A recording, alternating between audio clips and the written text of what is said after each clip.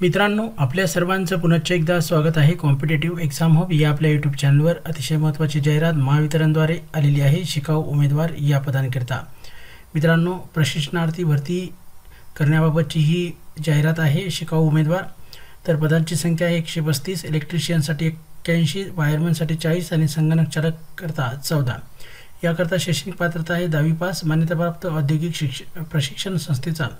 दोन वर्षाचा I T I electrician wireman संगणक चालक कोपा.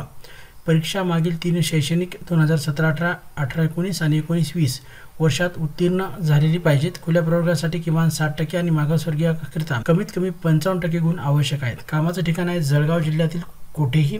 वयोमर्यादा आहे चौदा ते तीस वर्ष. मागासवर्गीयाकरता पाच वर्ष यामध्ये शिथिलता आहे.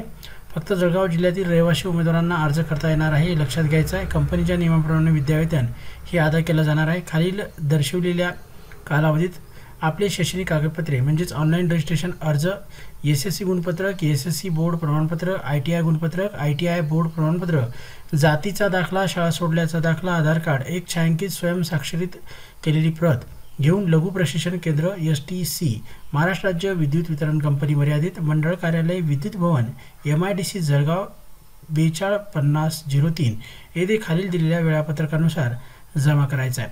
वेळापत्रक बघा कागदपत्रे जमा करण्याची कालावधी आणि वेळ दिनांक दहा सहा दोन हजार एकवीस ते पंचवीस सहा एकवीस सकाळी साडेदहा ते सतरा तीसपर्यंत तसेच जाहिरातीमध्ये जाहिरातीच्या काही भागामध्ये शिकाऊ उमेदवारांचा नमूद संख्येमध्ये अंशतः बदल किंवा समूर्त जाहिरात रद्द करण्याचे अधिकार हे कंपनीने राखून ठेवलेले आहेत. सदरचा निर्णय कोणत्याही प्रकारे उमेदवारास कळवला जाणार नाही.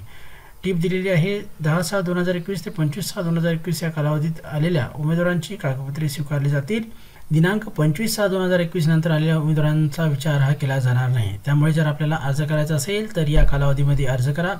दिलेली सर्व माहिती समजून घ्या. या व्यतिरिक्त तुमच्या मनामध्ये शंका असेल तर प्रश्न करा. मित्रांनो धन्यवाद.